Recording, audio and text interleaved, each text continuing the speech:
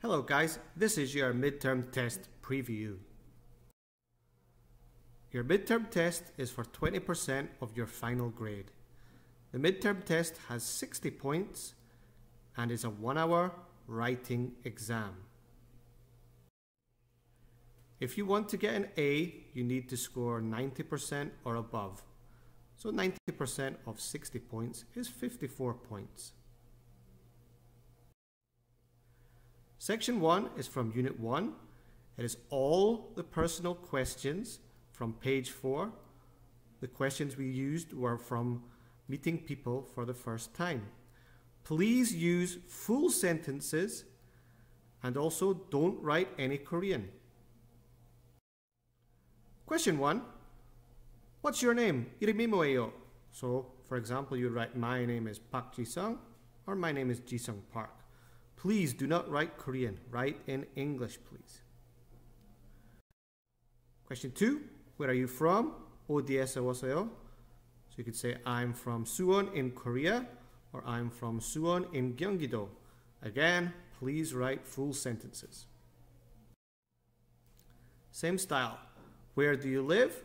So I live in Gwonsan-dong in Suwon. I live in Cheoncheon-dong in Suwon. I live in Gangnam in Seoul. Please write full sentences. What do you do? 무슨 일 하세요? So three parts. I'm a student at Dongnam Health University. My major is nursing. My major is business studies. My major is occupational therapy. How old are you? 몇 살이에요? So again, please write in full sentences. I am 21 years old. I am 30 years old. If you just write 30, then you'll get no points. Next question. When's your birthday? So again, write full sentence.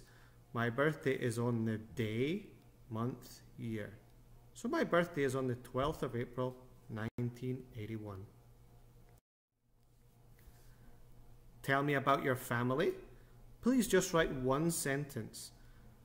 So I have two younger brothers and no sisters. So that's okay, that's enough. Next question, Musinchimi Chiwaseo, what are your favorite hobbies? Please write in a full sentence and give me three hobbies. And always remember ing, ing, ing. For things like cooking, traveling, playing computer games, shopping, eating, reading books, listening to music.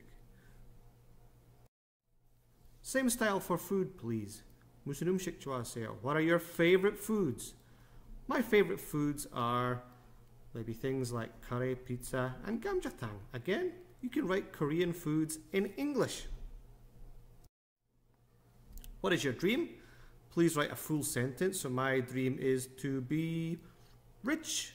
My dream is to be a good doctor, a good nurse. My dream is to travel the world.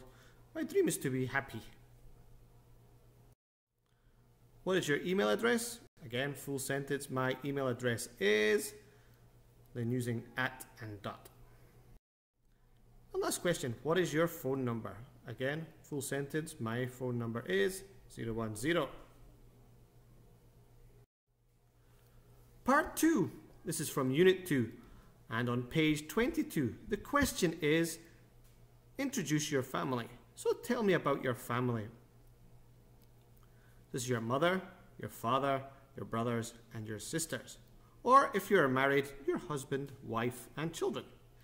So for each person, I want you to tell me their name, their age, their job, talk about their appearance, what they look like, maybe their personality, and their hobbies.